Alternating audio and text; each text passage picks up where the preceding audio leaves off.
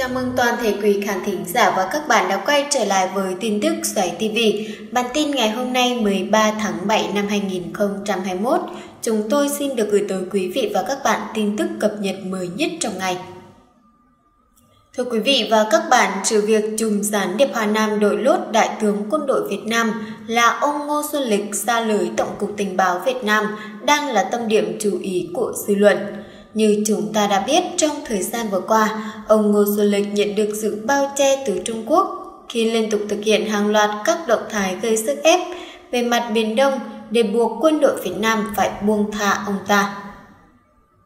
Phải buông thay cho ông ta, Thế nhưng Thượng tướng Phan Văn Giang và Thiếu tướng Lương Xuân Việt vẫn cứng trắng đối đầu và buộc tên tội phạm Ngô Xuân Lịch phải về quy án. Một số nguồn tin rõ trĩ từ cơ quan điều tra Bộ Quốc phòng cho biết, Ngô Xuân Lịch đã âm thầm thực hiện các cuộc đào thoát qua biên giới Trung Quốc bằng đường tiểu ngạch nhưng bất thành. Kết cục cuối cùng là bị trinh sát tình báo Tổng cục 2 bắt giữ và di lý về trụ sở Bộ Quốc phòng ở Hà Nội để thẩm vấn. Khi bị đích thân tướng Phan Văn Giang hỏi cùng, ông Ngô Xuân Lịch đã khai nhận về đường dây tình báo cải cắm trong cơ quan cấp cao Bộ Quốc phòng. Cụ thể trong những năm Thượng tướng Nguyễn Chí Vịnh làm Tổng cục trưởng Cục Tình báo Quân đội, ông ta đã ra sức giúp sức cho Trung Quốc một cách đắc lực khi liên tục để cho thế lực Hoa Nam cải cắm. Lôi kéo tướng tạo quân đội, ngoài ra lực lượng phản gián của Tổng cục 2 cũng bị vô hiệu hóa nhiều năm nay. Mặc sức Trung Quốc tự do lộng hành dữ dỗ, lôi kéo cán bộ ta làm tay sai cho chúng. Đây là âm mưu lâu dài của Bắc Kinh trong việc biến Việt Nam trở thành một quốc gia chư hầu. Hai dự thảo luật gần đây gây tranh cãi nhất và sống gió nhất sau khi kỳ họp Quốc hội thứ năm khóa 14 của Đảng Cộng sản Việt Nam tạm thời đã có kết quả. Vấn đề là cả hai dự luật này đều bị người dân phản đối với nguyên nhân có liên quan sâu rộng đến Trung Quốc và các chính sách của Trung Quốc. Tôi thấy cái nỗi khắc khoải nhất của ông ấy là ông ấy lo trợ âm mưu ngày càng lối liễu, càng nguy hiểm của Trung Quốc. Độ can thiệp này càng sâu vào nội tình của đất nước Việt Nam ngay lúc bấy giờ. Nỗi dây dứt nhất của ông ta là thấy là ông thấy mưu toan của Trung Quốc là bàn tay đã thọc sâu quá rồi vào trong nội tình của đất nước. Nhân vật mà giáo sư tương lai nhắc ở trên là cố thủ tướng Võ Văn Kiệt trong một lần gặp mặt vào tháng 5 năm 2008 cũng trong một bài viết mới nhất cho giáo sư tương lai email cho chúng tôi. Ông kể lại một số chi tiết cho thấy nỗi khắc khoải của cố Thủ tướng Võ Văn Kiệt. Thưa quý vị và các bạn, Trung Quốc bước chân vào chiến lược thôn tính Việt Nam từ khi nào? Hai dự thảo luật gần đây gây tranh cãi nhiều nhất và sóng gió sau cuộc họp. Quốc hội thứ năm khóa 14 của Đảng Cộng sản Việt Nam tạm thời đã có kết quả. Vấn đề là cả hai dự luật này đều bị người dân phản đối với nguyên nhân có liên quan sâu rộng đến Trung Quốc và các chính sách của Trung Quốc. Cũng trong một bài viết mới nhất do giáo sư tương lai email cho chúng tôi, ông kể lại một số chi tiết cho thấy nỗi khắc khoải của cố Thủ tướng Võ Văn Kiệt thực chất đã xuất hiện từ năm 1951. Năm 1951 trở về sau khi vượt Trường Sơn ra Việt Bắc dự đại hội 2 của Đảng. Ông Võ Văn Kiệt được cử đi thực tế rút kinh nghiệm về công tác thuế nông nghiệp tại nông thôn miền Bắc. Từ khi đó, ông bắt đầu hiểu ra và nói rằng dị ứng với những bài học mà các cổ phần Trung Quốc truyền tải vào trong nước ta. Vì thế, ông từ chối không đi Bắc Kinh và trở về ngay Nam Bộ. Một số tài liệu ghi rõ khoảng thời gian năm 1946, 1954 xảy ra cuộc chiến tranh Pháp Việt Minh, không ai là không biết tầm quan trọng của viện trợ của Cộng sản Trung Quốc cho Cộng sản Việt Nam. Đặc biệt, một chi tiết quan trọng trong bài viết của tác giả Phạm Cao Dương vào năm 2009 có ghi rõ Trung tuần tháng 8 năm 1950, khi hai đoàn cố vấn quân sự, một do Vi Quốc Thanh và đảng Giật Phàm cầm đầu từ Quảng Tây và một do Trần Canh hướng dẫn từ Vân Nam đến Bộ Chỉ huy tiền phương của Việt Minh ở Quảng Uyên, Cao Bằng và được Võ Nguyên Giáp và Trần Đăng Ninh tiếp đón và thuyết trình. Theo ông Phạm Cao Dương, đây là thời điểm then chốt bắn phát súng đầu tiên cho tầm quan trọng của viện trợ mà Cộng sản Trung Quốc dành cho Cộng sản Việt Nam. Chi tiết này được tác giả Quang Trai đề cập thêm trong cuốn China and the Vietnam Wars là trong chuyến đi Bắc Kinh từ 25 tháng 6 đến mùng 8 tháng 7 năm 1955 của Hồ Chí Minh, Bắc Kinh đã đồng ý viện trợ 800 triệu tệ để xây dựng 18 dự án. Trong đó có nhà máy xi măng Hải Phòng, nhà máy nhiệt điện, nhà máy dệt Nam Định. Cũng theo tác giả Quang Dài, vào tháng 5 năm 1963, lúc miền Nam đang căng thẳng trong cuộc khủng hoảng Phật giáo, Chủ tịch Trung Quốc Lưu Hiếu Kỳ sang Hà Nội, nói với Hồ Chí Minh, Trung Quốc đang đứng bên cạnh các đồng chí nếu chiến tranh bùng nổ, Trung Quốc là hậu phương. Theo lời kể lại của giáo sư tương lai, ông Võ Văn Kiệt đã nhìn thấy sức ép của Bắc Kinh. Thời điểm diễn ra hội nghị Geneva, việc Bắc Kinh viện trợ số vũ khí và cố vấn giúp Việt Nam đánh thực dân xâm lược nhằm tạo ra tăng tỉnh lâu dài để chờ ngày bình thường, buộc chính quyền Việt Nam phải ngừng chiến và chấp nhận vĩ tuyến 17. Sau đó, Đảng Từ Bình phát động cuộc chiến tranh biên giới phía Bắc năm 1979 là câu trả lời rõ nhất cho âm mưu bành trướng của Trung Quốc nhắm vào Việt Nam. Suốt 4.000 năm lịch sử của mình, cuộc chiến tranh chủ yếu của Việt Nam là với phương Bắc. Có bao nhiêu thời từ khi Bắc thuộc rồi lấy lại độc lập, có độc lập rồi thì đến thời tiền Lê Lý Trần Hậu Lê, Nguyễn Tây Sơn thì đều chống trả với phương Bắc. Ngay cả đến thời kỳ cận đại thì năm 56 bị xâm lấn ở Hoàng Sa, 74, 79 rồi 88, nhân dân Việt luôn luôn phải phòng vệ trước phương Bắc, mặc dù vẫn phải giữ cái hữu nghị đối với họ. Việt Nam thời kỳ đổi mới trong thời gian gần đây, trong nước tung ra một video lời phát biểu của Phó Tổng cục trưởng Tổng cục Chính trị Công an, Giám đốc Học viện Chính trị Công an Nhân dân Trương Giang Long công khai cảnh báo Trung Quốc không bao giờ từ bỏ xã tâm thôn tỉnh chúng ta, mà không phải thời Tập Cận Bình đâu. Ông khác lên cũng sẽ như vậy thôi. Câu chuyện là bao giờ họ sẽ lấy và lấy bằng cách nào? Theo chuyên gia kinh tế Huỳnh Bửu Sơn, bắt đầu vào thập niên 90, cả Trung Quốc và Việt Nam đều bắt đầu chính sách mở cửa. Ông đánh giá Việt Nam lúc đó có những cái tích cực hơn cả Trung Quốc. Những người chủ trương đổi mới phải nói là ông Võ Văn Kiệt là một trong những người thực hiện hành động rất tốt cái đổi mới mở cửa cho Việt Nam. Cái đó tôi nghĩ không chỉ người trong nước mà cả thế giới cũng nhận như thế. Năm 1986, Việt Nam bắt đầu công cuộc đổi mới chuyển đổi từ nền kinh tế kế hoạch hóa tập trung sang nền kinh tế thị trường định hướng xã hội chủ nghĩa. Giáo sư tương lai cũng ghi nhận thành tựu kinh tế của Việt Nam giai đoạn này là nét độc đáo của một tầm nhìn mang đậm hình ảnh của cố Thủ tướng Võ Văn Kiệt. Trong bối cảnh ấy, ông Kiệt đã tranh thủ mời những chuyên gia của chế độ cũ tham gia với ông như ông Xoánh, ông Nguyễn Văn Hảo, đặc biệt là ông ấy thành lập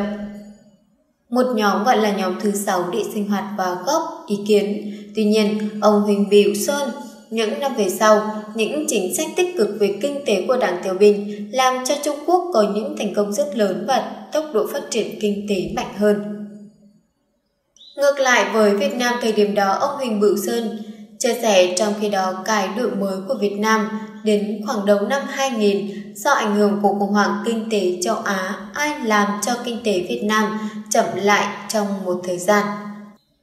Đương nhiên nó làm cho nền kinh tế của mình không phát triển như trước. Như vậy trong mối quan hệ giữa hai nền kinh tế thì một chuyện xảy ra đó là làm mình mua hàng của Trung Quốc nhiều hơn, dẫn đến chuyện nhập siêu của mình càng lớn và quan hệ ngoại thương giữa mình và Trung Quốc càng lớn. Mặc dù nhấn mạnh rằng nhập siêu không gọi là một lệ thuộc, nhưng theo ông Huỳnh Bửu Sơn, do vị trí địa lý của hai quốc gia và giá mua nguyên vật liệu từ Trung Quốc luôn rẻ hơn từ các nước khác, Mối nguy của việc ba đặc khu có thể biến thành các lãnh thổ của Trung Quốc ở Việt Nam và rất lớn. Chính vì vậy, ngay những người dân bình thường của Việt Nam cũng bày tỏ lo lắng. Nhất là khu vực kinh tế quốc doanh của Việt Nam lại có nhu cầu về nguyên liệu vật tư rất mạnh từ Trung Quốc. Một ví dụ về ngành dệt may theo Tổng cục Hải quân Việt Nam Năm 2017, kim ngạch nhập khẩu mặt hàng nguyên phụ liệu dệt may từ Trung Quốc về Việt Nam đạt gần 9 tỷ USD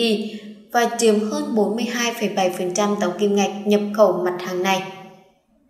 Sự phụ thuộc của Việt Nam vào nền kinh tế Trung Quốc như ông Huỳnh Bửu Sơn đã phân tích ngày càng thể hiện rõ hơn. Chuyên gia kinh tế Phạm Trì Lan là người đưa ra quan điểm đồng thuận. Bà cho biết nền kinh tế Việt Nam hiện đang phụ thuộc rất lớn vào Trung Quốc về nguồn cung cũng như xuất khẩu các sản phẩm của Việt Nam. Đây cũng chính là nguyên nhân cho nỗi lo khi dự thảo luật đặc khu ra đời.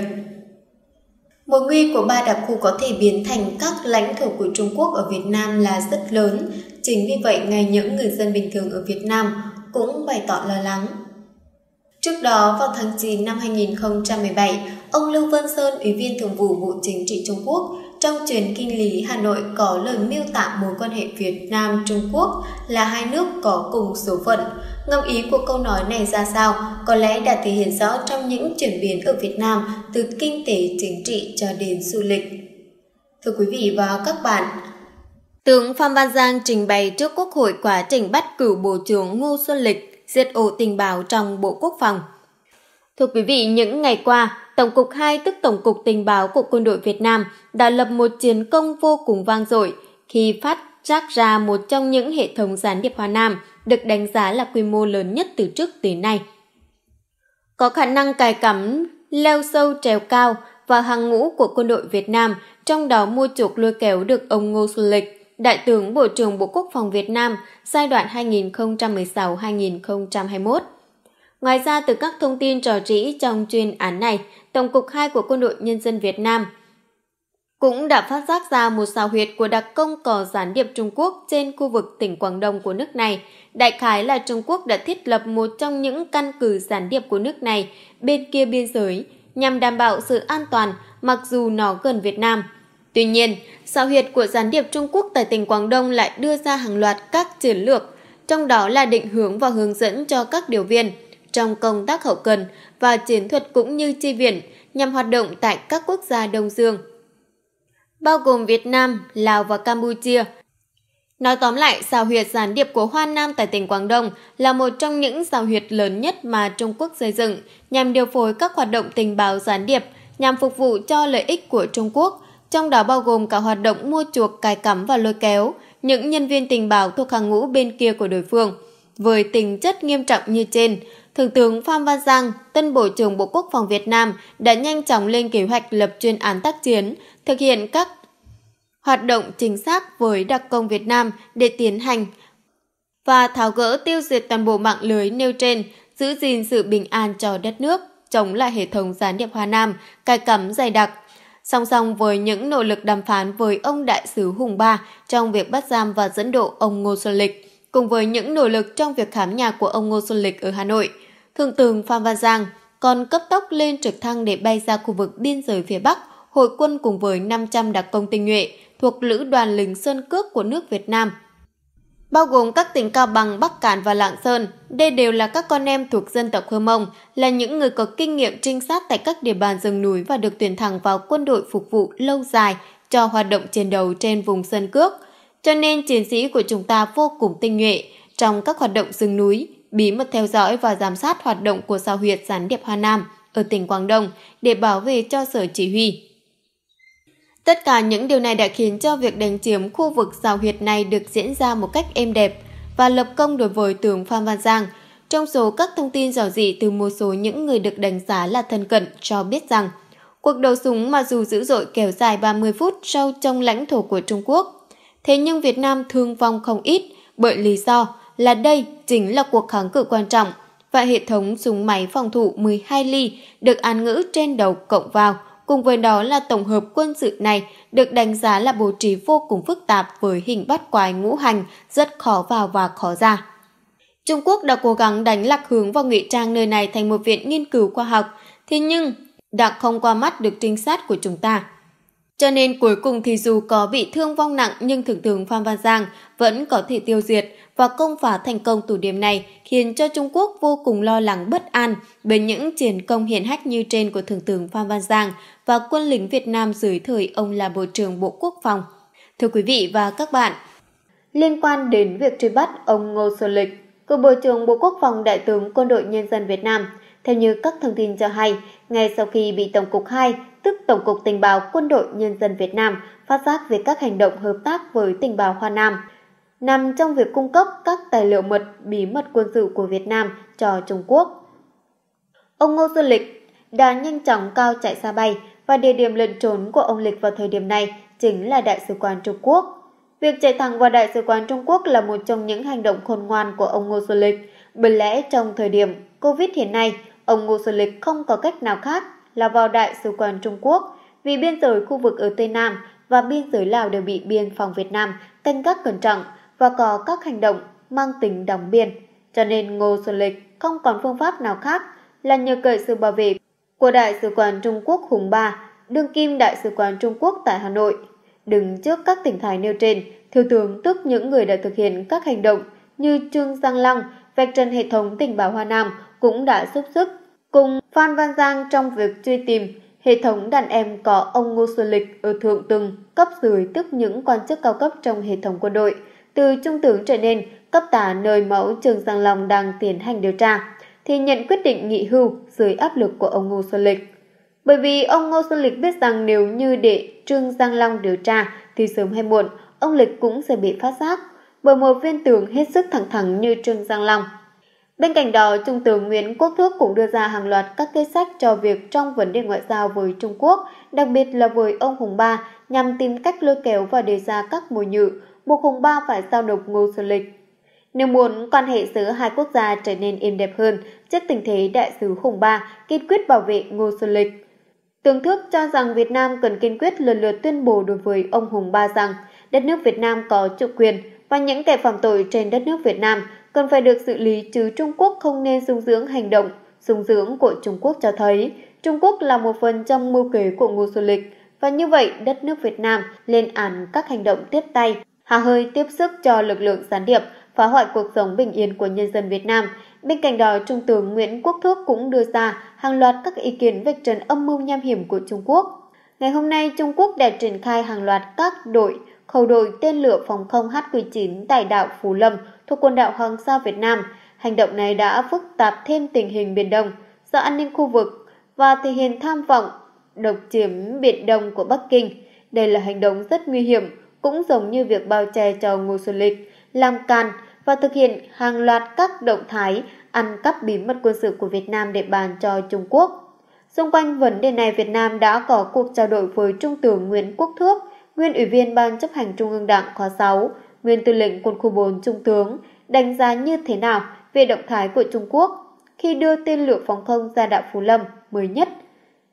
Đến hành động cụ thể của chúng thì phải làm rõ bản chất của chúng, sự việc đó là như thế nào. Ở đây cần thấy rằng việc Trung Quốc đưa máy bay ra Trường Sa, đưa tên lửa phòng không ra Hoàng Sa hoàn toàn không phải là hành động đơn lẻ với một mục đích gì. Lẽ thực tế đó là hành động đã được Trung Quốc lên kế hoạch từ lâu, nằm trong hệ thống quan điểm của họ và quyết tâm thực hiện. Hòa yêu sách đường lễ bào